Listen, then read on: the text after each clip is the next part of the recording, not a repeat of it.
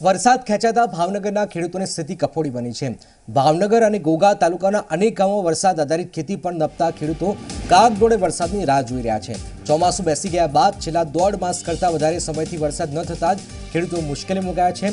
ચોમાસાના પ્રારંભે થયેલા વરસાદના કારણે ખેડૂતોએ વાવણી તો કરી દીધી, પરંતુ બાદમાં વરસાદ ન થતાં ખેડૂતોની સ્થિતિ દયનીય બની છે.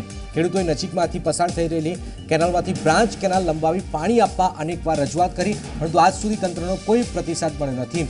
હાલ તો વરસાદ ખેંચાતા ખેડૂતોનો ઊભો પાક સુકાઈ રહ્યો છે.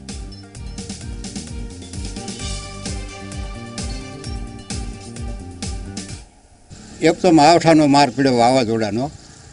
ઉપરથી વાવણી થઈ, સામાન્ય વાવણી વરસાદ થયો. ખેડૂતોએ વાંચે વાંચે વાવ્યું પણ ખરું, ઉગ્યું પણ ખરું. પણ આ દોઢ મહિના થાય, છેલ્લા દોઢ મહિના થાય વરસાદ નથી, તો ખેતીને બધી એટલી બધી નુકસાની છે કે એની વાત પૂછોમાં, અને વરસાદ આધારિત જાજી ખેતી છે અમારા ગામમાં. તો સરકારશ્રીને વિનંતી છે કે બે પાંચ ગામ છે, થોડી છે, માલપર છે, ભૂતેશ્વર છે પછી પિથલપર છે. એવા ગામને અહીંથી દસ કિલોમીટર, આઠ કિલોમીટર જેટલી કેનાલ આગી છે. તો એમાંથી છોટીઓ આપે અને ખેડૂતોને પાણી આપે તો અમારા ગામને ફાયદો થાય. એમ છે, ખેડૂતો અત્યારે બે પાયમાલી વરી રહ્યો છે. ખેડૂતોની પૂરી કફોડી સ્થિતિ છે. અમારે કુદરત આધારિત ખેતી છે. અમારી પાસે કોઈ કેનાલની કે સિંચાઈની સુવિધાઓ છે નહીં. સરકારશ્રીને અમારી વારંવાર વિનંતી છે કે અહીંથી દસ કિલોમીટર આખી કેનાલ છે. સરકાર જો કોઈ ડેમ અને તળાવો નર્મદાના નીરથી ભરતી હોય તો અમને બ્રાન્ચ કેનાલ આપે અને એમાંથી પાણી અમને આપે અને અમારા ખેડૂતોને દરેકને સિંચાઈનું પાણી મળી રહે.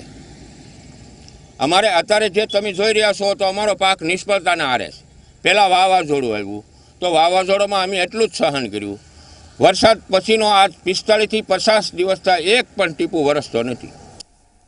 રાજ્યમાં સારો વરસાદ ન આવતા ખેડૂતો ચિંતિત છે. જેમાં પંચમહાલમાં વરસાદ નથી, પરંતુ છેલ્લા ઘણા દિવસોથી મેઘમહેર ન થતા હવે ખેડૂતો ચિંતિત થયા છે. જિલ્લામાં આવેલા ત્રણ જળાશયોની વાત કરીએ તો હાલમાં વરસાદ ખેંચાતા પાણીનું સ્તર નીચે જઈ રહ્યું છે. જિલ્લાના સૌથી મોટી પાનમ ડેમમાં હાલમાં માત્ર ચાલીસ ટકા પાણીનો જથ્થો છે. જેમાંથી સિંચાઈ માટે કેનાલ મારફતે સાતસો ક્યુસેક પાણી ખરીફ પાકની ખેતી માટે ગોધરા, લુણાવાડા અને શહેરા તાલુકાના ખેડૂતોએ આપવામાં આવી રહ્યું છે. બીજી તરફ હડપ ડેમમાં હાલમાં બાસઠ ટકા પાણીનો જથ્થો ઉપલબ્ધ છે. કરાડ ડેમમાં હાલમાં બત્રીસ ટકા પાણીનો જથ્થો ઉપલબ્ધ છે.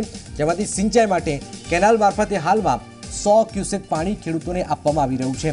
જે પાણી ઓછા પ્રેશરથી આવતું હોવાથી કાલોલના છેવાડાના ગામો સુધી પહોંચી શકતું નથી. જેથી ખેડૂતોની હાલત કપોડી છે. હાલ તો ડેમમાંથી ખેડૂતોને પાણીનો જથ્થો મળી રહ્યો છે. પણ જો સારો વરસાદ નહીં પડે તો આગામી સમયમાં મુશ્કેલી વધુ આવી શકે છે.